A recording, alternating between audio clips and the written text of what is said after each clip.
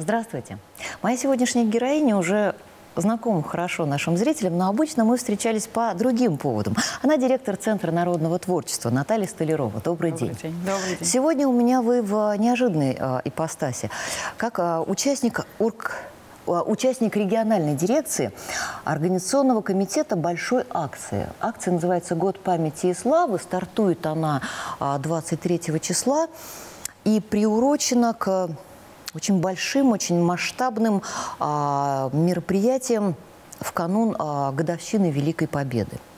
В Нижнем Новгороде а, произойдет очень много в эти дни разного, а, пролонгированных акций, каких-то отдельных концертов. Вот я хотела вас для начала спросить вот в самых а, общих словах, действительно ли вот эти дни не только на площади Минина и традиционно там и, так сказать, э, на площади Горького, а по городу и по области будут наполнены а, так, что нельзя будет никому даже приезжим из других стран не понять, что происходит.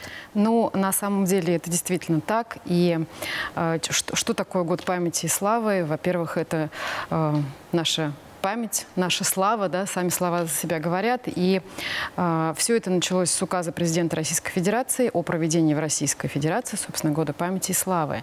И э, была создана дирекция на уровне Российской Федерации, которая задумала вот такой огромный план мероприятий на всю страну.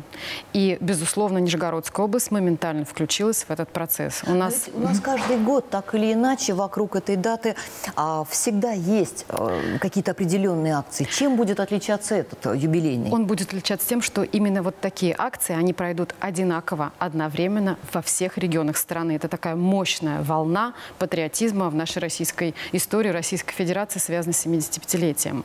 Нижегородская область примет на себя 11 федеральных акций. И э, буквально скоро, как вы уже сказали, да, стартует первый проект. Это очень серьезная акция, которая называется «Блокадный хлеб». Ну, а поскольку мы не жители Ленинграда, но у нас есть такая легендарная личность, человечек, вот я как раз маленький хотела человечек. сказать, да? что начнется все это в Шатках. Совершенно верно. Это, упокоено. конечно, безусловно, мы, мы приурочили. На самом деле акция «Блокадный хлеб» стартует 27 января по всей стране, но поскольку Тане Савичевой именно в этом году испол- исполнилось бы 90 лет, 23 января в Шатках, мы даем старт, официальный старт Года памяти славы в Нижегородской области. Вот а, тем нашим зрителям, которые в силу а, возраста, может быть, отсутствия дома книжек или рассказывающих а, об истории страны родителей, не знают этого имени. Таня Савичева, а, что это за девочка?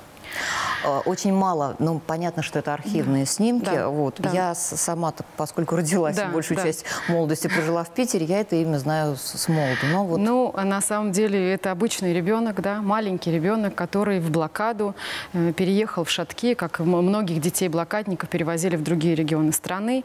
Но этот ребенок стал таким, потому что она вела дневник, и каждая страничка ее И вот этот дневник дневника, да, он, сохранился. конечно, сохранился, и его на самом деле, наверное, нужно знать, нужно как бы изучать, смотреть, потому что вот эта вот боль и кровь этого маленького Знаете, ребенка в это каждом изучать, слове. Это даже читать страшно, когда Это ты понимаешь, страшно. что это не Это литература. страшно. Главное, чтобы это читали так наши дети, чтобы они понимали, что заложено за каждым словом, уми- умерли все. да, Когда там, то есть- ребенок в бытовой Конечно. форме, сегодня Да. умерла Тата, вот. вчера умерла По- Тата, и финальные строчки Да, умерли и все, э, осталась Таня. мы бы хотели вот именно в Шатках дать старт не только года памяти славы, но и как раз рассказать об этой девочке. Мы будем рассказывать это на уроках э, в школах, мы будем рассказывать и в Шатках тем гостям, которые приедут туда, то есть некую информацию, такую именно патриотическую и связанную с этой девочкой мы обязательно донесем на наши Вот общая тема блокады. Совсем ведь недавно а, была очередная дата, которую в Питере отмечают как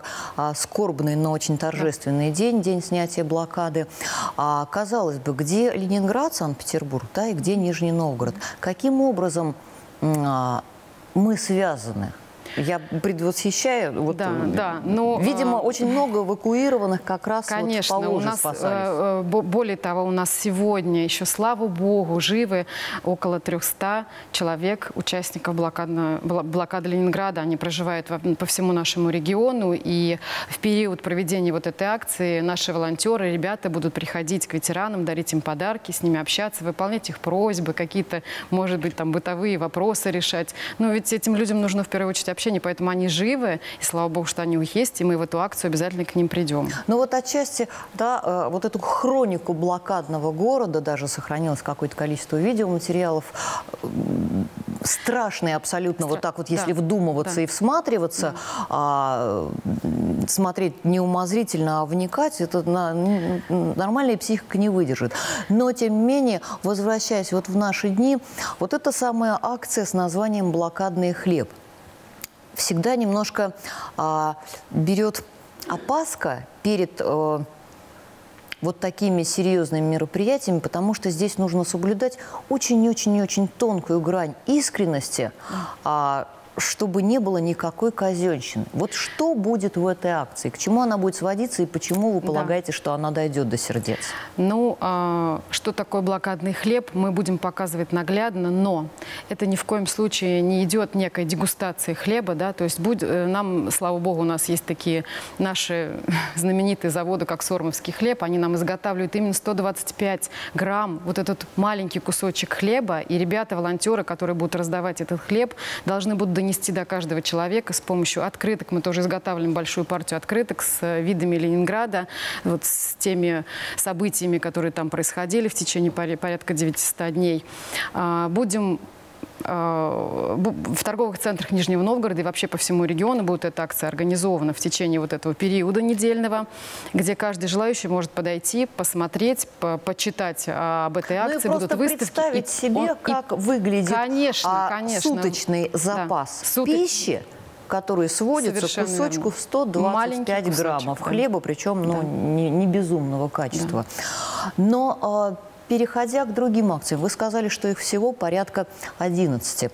Вот остальные 10, что это, где mm-hmm. это, какие из них уже, э, так сказать, давно идут, какие только подготавливаются к своему старту? Да, ну, да, э, значит, мы уже сказали о блокадном хлебе. На самом деле эта акция внутри себя подразумевает не просто раздачу хлеба, да, и некую популяризацию вот тех событий, э, но здесь и, как я уже сказала, 27 числа, 27 января по, всему, по всей стране, и в том числе Нижегородскому региону, во всех школах пройдут уроки мужества, на которых тоже будут рассказываться рассказываться те события страшные и э, тоже показываться, что такое был блокадный хлеб.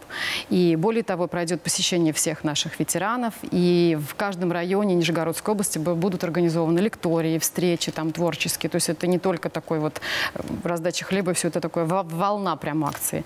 Э, на самом деле стартует пока только эта акция, это первая акция, она буквально вот за две недели до нашей с вами встречи начала, организовываться, и в процесс организации включились и те люди, которые занимаются археологией, те люди, которые занимаются архивом, да, историки, наши волонтеры, наш Народный фронт. То есть очень много э, людей, которые неравнодушны к этому включились, и слова нет, мы не слышали ни от кого. А что касается дальнейших акций, их на самом деле 11. Они совершенно разнообразны по своему масштабу, по, по своей идеологии. Здесь и высадка деревьев, может быть, мы сделаем аллею памяти, мы пока пока формат мероприятия не продумали до конца, но э, то, что в них э, будут участвовать все нижегородцы, мы бы этого очень хотели. Будет э, 9 мая такая акция, как Рио Рита. Да? Что такое Рита? Это был танец под духовой оркестр. Мы, пыта... мы бы хотели, чтобы весь Нижний Новгород танцевал в это время, вот э, окунулся в ту эпоху. То есть если а, обед начинается бессмертным полком, да, то вечер это такие импровизированные... А, под оркестр на улице танцплощадки с фокстротом да, той поры. Да, будут спортивные мероприятия. То есть все такие вот наши направления, они будут задействованы в этих 11 акциях. Ну, я думаю, что по мере приближения а, мая мы еще не раз с вами встретимся и поговорим в процессе, как что проходит. А пока лишь констатирую, что 23 числа вот этот вот а, большой набор, не набор, неверное слово, вот это большое количество а, разных продуманных мероприятий а, начинается. Если вы а, чувствуете в себе потребность присоединяться, обязательно это сделайте. Спасибо большое. Спасибо.